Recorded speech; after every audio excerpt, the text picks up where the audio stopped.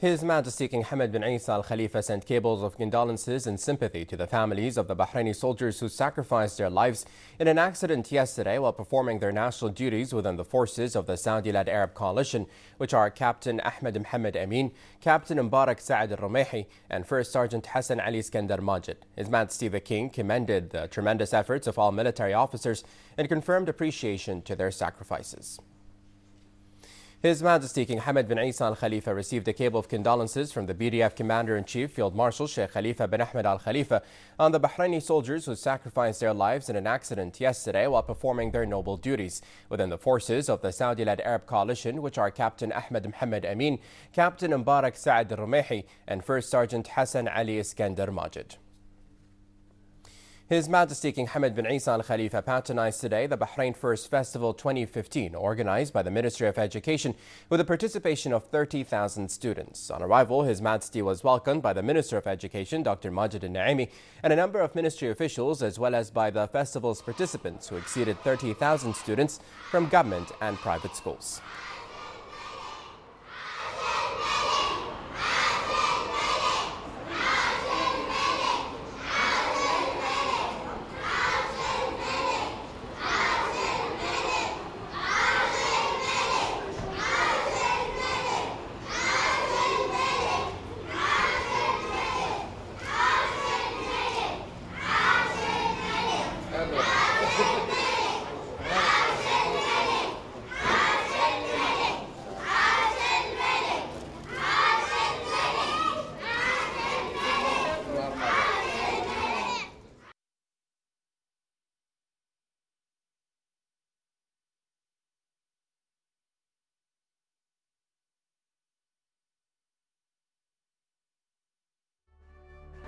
إن مهرجان هذا العام يجدد الولاء لهذا الوطن والوفاء لقيادته الحكيمة. ويعلن أن وطننا البحرين مزروع في قلوبنا وعقولنا جيلا بعد جيل. وإن معاني الانتماء والوفاء نسبة الفضل لصاحب الجلالة الملك المفدى يحفظه الله ويرعاه قائد نهضة هذا الوطن وعزته. ومن هنا كان أوبريت هذا العام الذي يحمل عنوان العهد الزاهر الذي هو عهد مليكنا ورمز عزتنا وفخرنا في إطار المملكة البحرينية العريقة. عبر أبرز المحطات التاريخية التي مرت بها البحرين وصولا للعهد الزاهر بحضرة صاحب الجلالة الملك المفدى. ويتميز هذا الأوبريت بفقرات استعراضية ومشاهد تمثيلية جديدة ومبتكرة تنفذ لأول مرة في تاريخ المهرجان يؤديها طلبة مدارس البحرين بكل محبة واعتزاز. عاش مليكنا وعاشت البحرين حرة عزيزة. في عام 2005 كانت الانطلاقة حيث نظمت الوزارة مهرجان مسيرة وطن احتفاء بالعيد الوطني تحت شعار البحرين أولا. حيث شارك في المهرجان أكثر من 15 ألف طالب وطالبة من مختلف المراحل الدراسية. في هذه الأثناء مشاهدينا الكرام يصل حضرة صاحب الجلالة الملك المفدى إلى السادة البحرين الوطني حيث احتفالية البحرين أولا. صوت يعني عاش الملك عاش الملك! المعتاد وقولوا معنا عاش الملك عاش الملك. صوت يعني عاش الملك عاش الملك. عاش الملك عاش الملك. صوت يعني عاش الملك عاش الملك.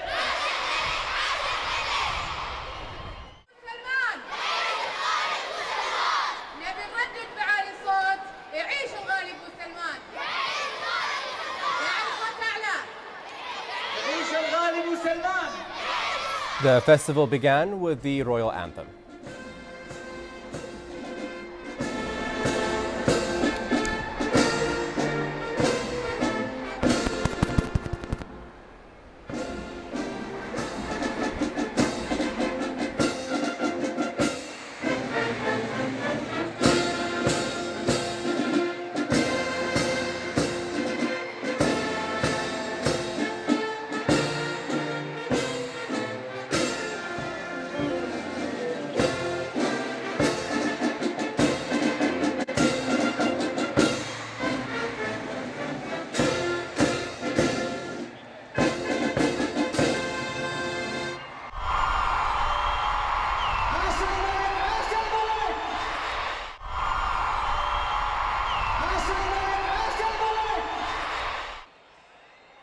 الله الرحمن الرحيم. سيدي حضرة صاحب الجلالة الملك حمد بن عيسى آل خليفة عاهل البلاد المفدى حفظه الله ورعاه. في هذا اليوم الوطني المجيد نرفع أيدينا بالدعاء الصادق إلى الله العلي القدير أن يحفظ البحرين وأن يتقبل جميع شهدائنا الأبرار بواسع رحمته وأن يدخلهم فسيح جناته. إنه على كل شيء قدير. نبدأ الحفل الوطني بآيات عطرة من القرآن الكريم يتلوها على مسامعكم. الطالب عبد الله سعود محسن الفائز بالمركز الأول في مسابقة البحرين الكبرى للقرآن الكريم فرع مزمار داوود بتنظيم وزارة العدل والشؤون الإسلامية.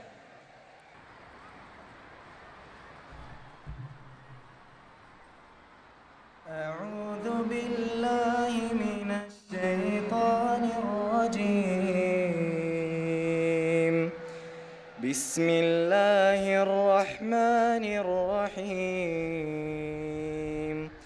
ولا تحسبن الذين قتلوا في سبيل الله أمواتاً. بل أحياء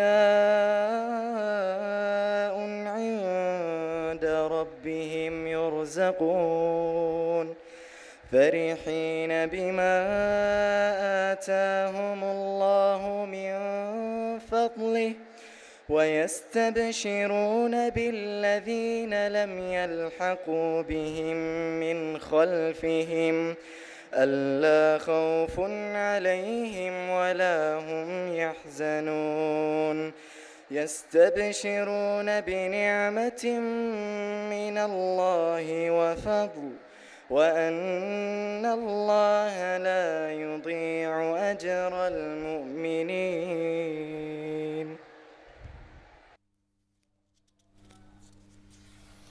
Then, the Minister of Education delivered a speech in which he expressed thanks and appreciation to His Majesty the King for patronizing the event, which the ministry is now hosting for the ninth year. He said that the ministry is continuing to make many achievements thanks to the support of His Majesty the King through establishing more modern schools and educational institutions across the kingdom. The minister added that the ministry had accomplished huge achievements on various levels through establishing a number of new schools and educational institutions, thanks to the directives of His Majesty the King, which reflect His Majesty's vision of providing the best educational services to students, as well as increasing the number of schools that host students with special needs. The Minister of Education also said that the ministry was keen to implement directives that aim to enhance the values of citizenship. He also added that the ministry implemented citizenship and human rights curricula in addition to a number of activities that support human rights. Then the Minister of Education presented His Majesty the King with a commemorative gift. لتفضل جلالتكم حفظكم الله كالعهد بكم برعاية وتشريف هذا الاحتفال الوطني الكبير. مهرجان البحرين أولا الذي يحمل هذا العام عنوان العهد الزاهر اعتزازا بما تحقق للوطن وللمواطنين في عهدكم الزاهر والذي يقام ضمن احتفالات وزارة التربية والتعليم بالعيد الوطني المجيد وذكرى جلوس جلالتكم. هذه الرعاية الكبيرة في معناها والعظيمة في مدلولها ستسجل في ذاكرة الأجيال وأولياء أمورهم حيث يجدون فيها مناسبة للتعبير عن صادق محبتكم في نفوس شعبكم. فكل من شارك في هذه الفعالية جاء من تلقاء نفسه. وأنني هنا أعتذر لإخواني أولياء الأمور وأبنائنا الطلبة الذين لم نتمكن من استيعابهم في الفقرات أو الحضور لمحدودية المكان.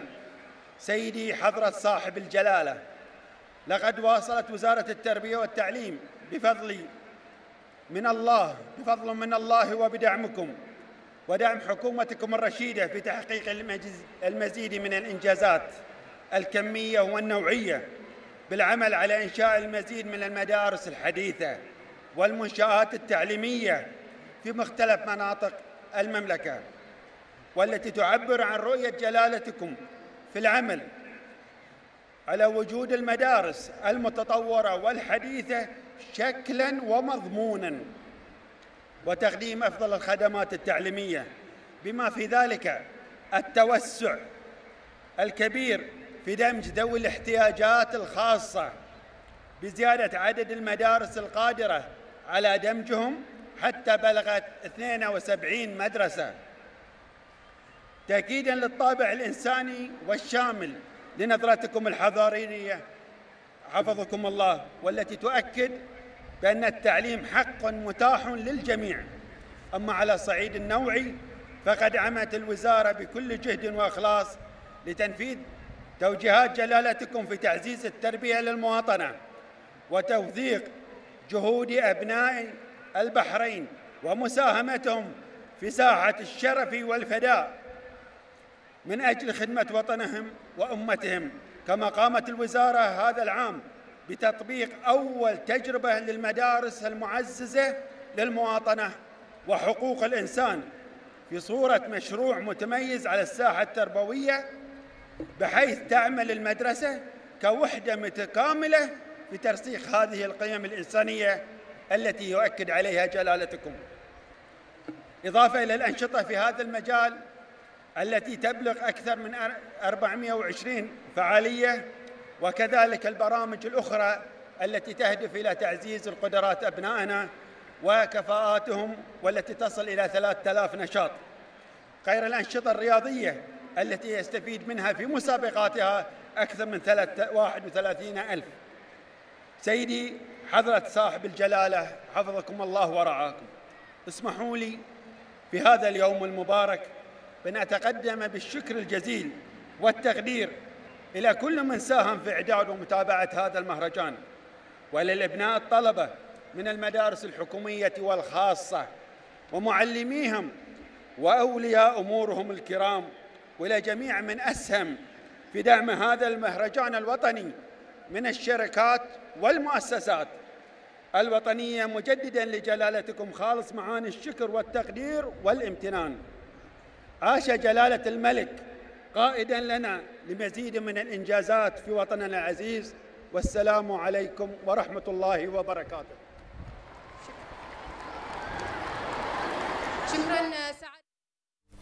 After the Education Minister's speech, Dr. Majid bin Ali Naimi, His Majesty King Hamad bin Isa Al Khalifa, delivered the following speech.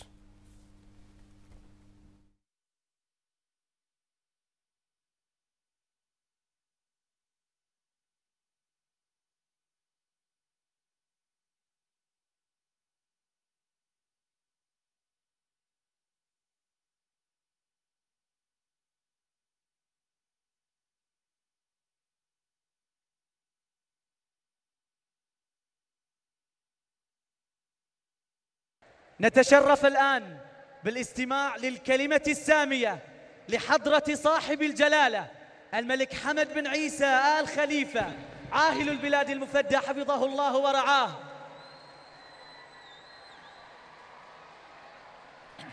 بسم الله الرحمن الرحيم.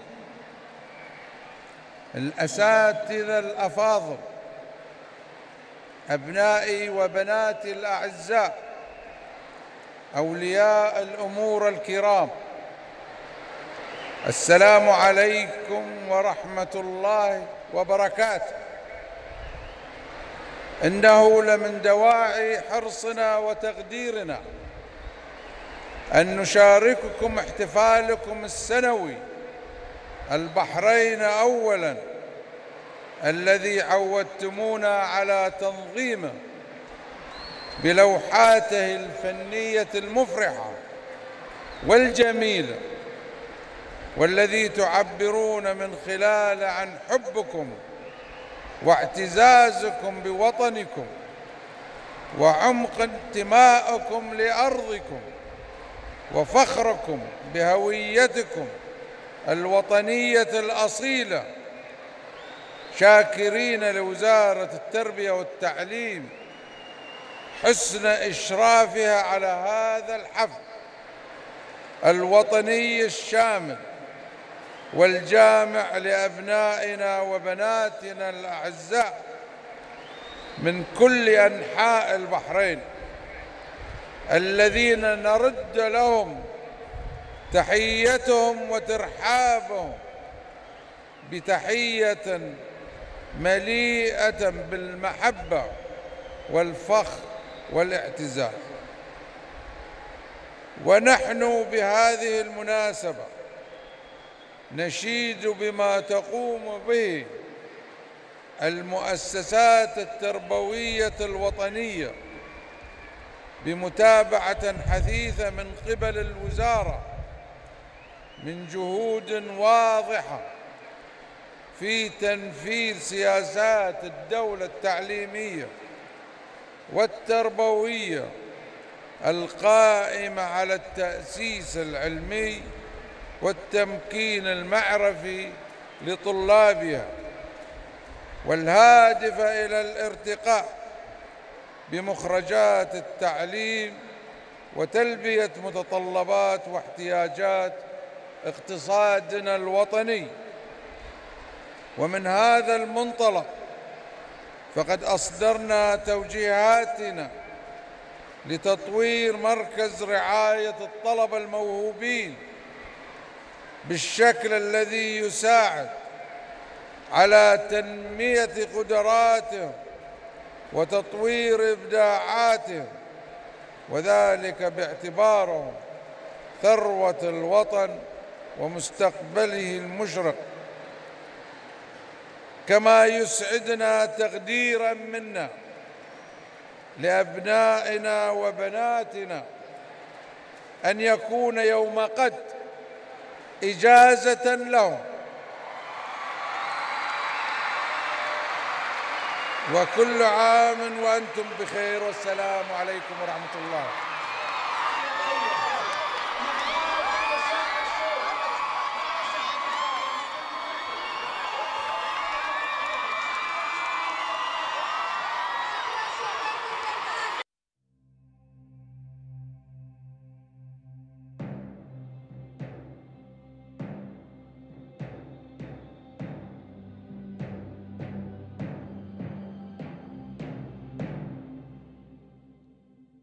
يا سيد المنذر يا سيد المنذر يا أهل البحرين يا أهل البحرين هلموا هلموا ماذا تريد؟ إنها البشارة البشارة يا سليل بني يعرب بشارة ستغير مجرى التاريخ في أرض البحرين. إني إني أتنفس نسائمها الآتية من أرض الحجاز. إن ريحها ستبعث فينا حياة جديدة. روحها معلقة بالضاد العربي الذي يسكننا. انظروا إلى ذلك الفارس. ألم أقل لكم؟ لا بد وأنها البشارة التي ستكونون بعدها رسلا للمحبة والسلام. أيها الفارس اقرأ. اقرأ فأي ريح طيبة أتت بك.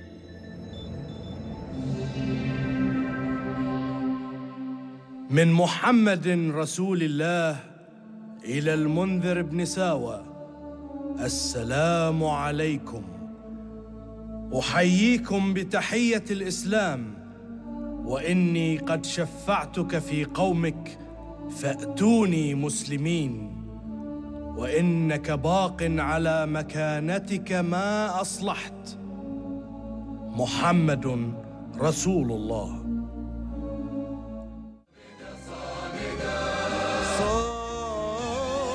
A number of students then performed a dialogue addressing his majesty and a number of songs by Bahraini and Gulf singers were played during the festival.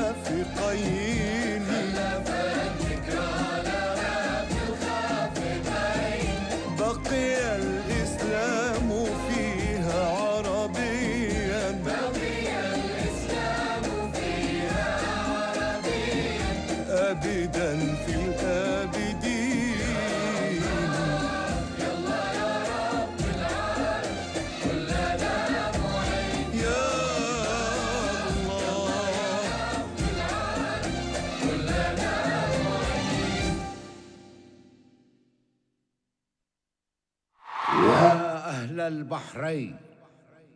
ها هو أحمد الفاتح. جاء إليكم موحدا لا مفرقا. ليبني حلم وطن أجمل. حاملا كل معاني العزة والتسامح والشموخ. فلندشن جميعا الفتح الخليفي. ونعيد للبحرين نقاءها. إنها البحرين من عاش فيها لا يموت إلا واقفا.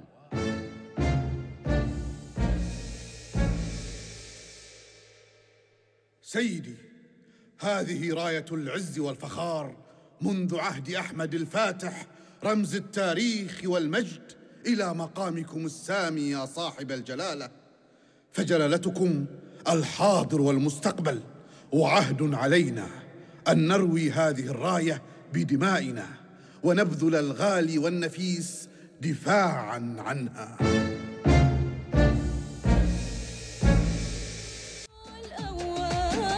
عرفنا نعيش مستقبل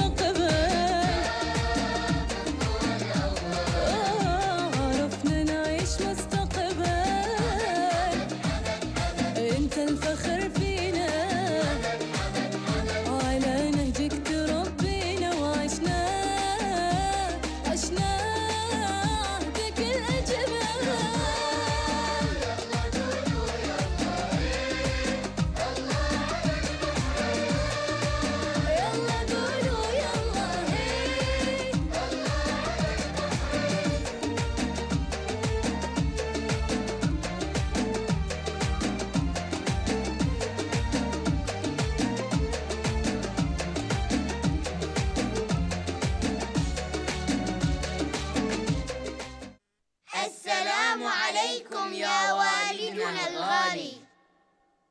نحن فداء لك يا أبا سلمان. نذود عنك وعن الوطن بأرواحنا. فأنت يا سيدي مشعل تقدمنا وفارس نهضتنا. ونعاهدك عهد الأوفياء أن ندافع عن بلدنا البحرين. ونبذل الغالي والنفيس ونكون سدا منيعا لخليجنا العربي. فوطننا واحد وخليجنا واحد. فوطننا واحد وخليجنا واحد. ممكن نقول لك شيء يا طويل العمر؟ ترى إحنا وكل طلاب البحرين نحبك وايد وايد. والله يخليك لنا يا أبونا الغالي. قولوا آمين. قولوا آمين. آمين. امين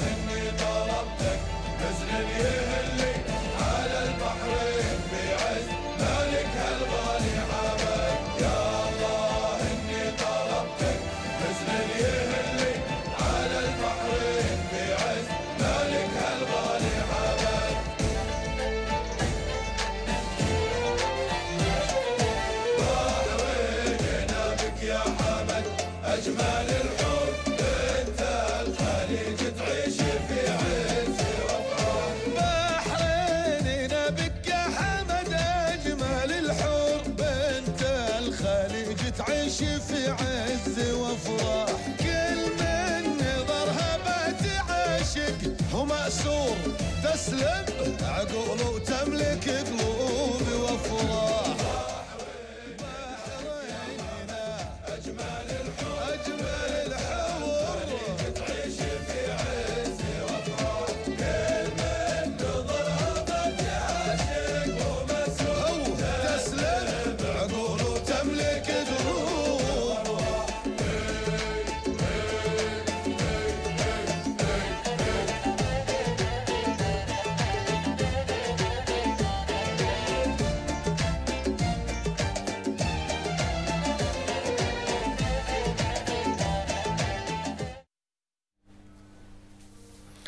His Royal Highness the Prime Minister Prince Khalifa bin Salman Al Khalifa issued a circular regarding the holiday of the beginning of the new year 2016. On the occasion of the advent of the calendar year, all government ministries, directorates, and public institutions will be closed on Friday, January the 1st of 2016, corresponding to the 21st of Rabi' al Awal of 1437 Hijri.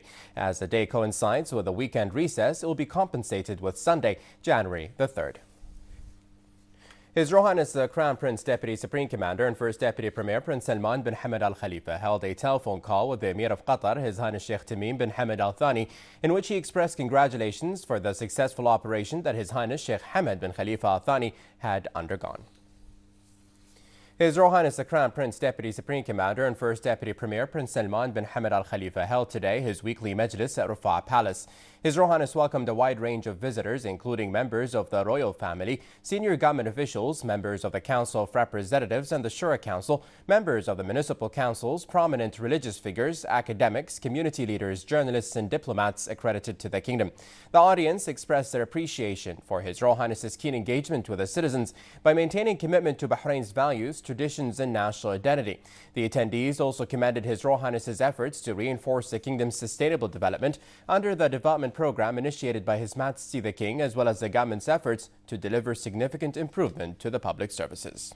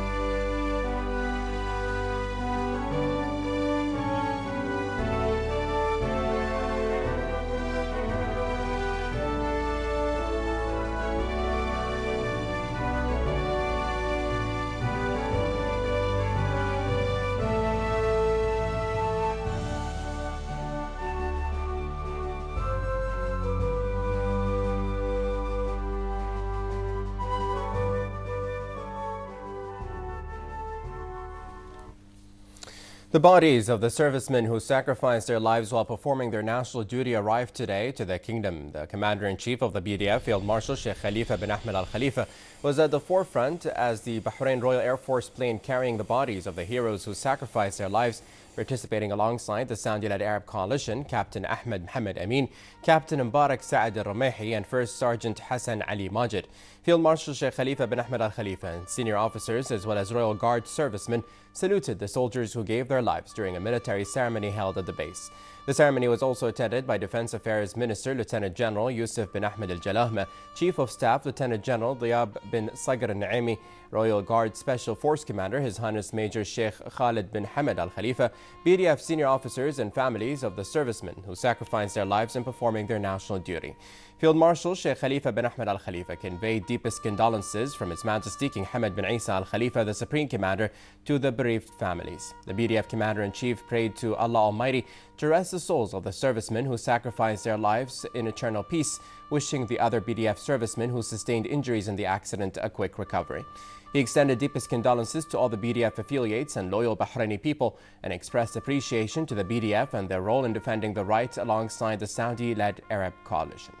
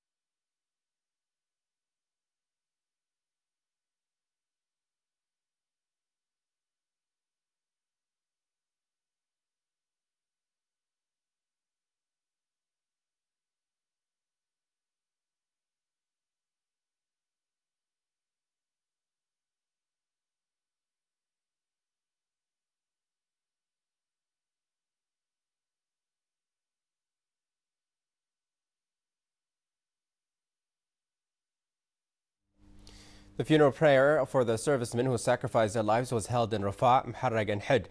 Field Marshal Sheikh Khalifa bin Ahmed Al Khalifa attended the, fu the funeral prayer for Captain Mbarak Saad Al Ramehi at Rafa Cemetery and expressed condolences to the bereaved families and prayed to Allah Almighty to rest their souls in eternal peace.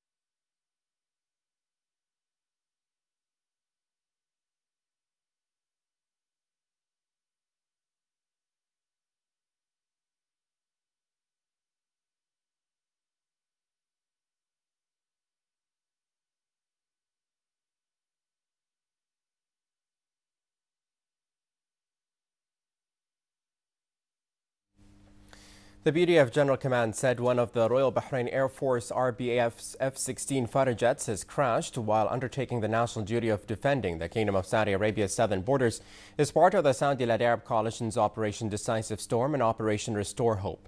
The pilot has been rescued and he is in good condition and the debris of the aircraft is under the control of the Arab coalition forces according to the BDF. Investigations are underway to determine the cause of the incident.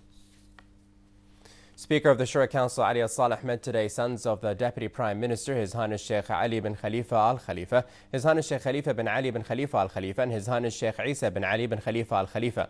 Al-Saleh praised their Highnesses' role in supporting voluntary and social works in Bahrain and dedicating time and efforts to serving the country. He also praised the wise leadership's keenness in supporting social work. Shura Speaker congratulated His Highness Sheikh Khalifa bin Ali bin Khalifa Al Khalifa on the occasion of being granted the highest social responsibility decoration and title of an international ambassador for social responsibility from the President of the Republic of Sudan, Omar Hassan al-Bashir. Al-Saleh affirmed the Shura Council's keenness to support the social work in Bahrain, lauding the country's dedication to voluntary work in which it helps in enhancing social solidarity between different segments of the society.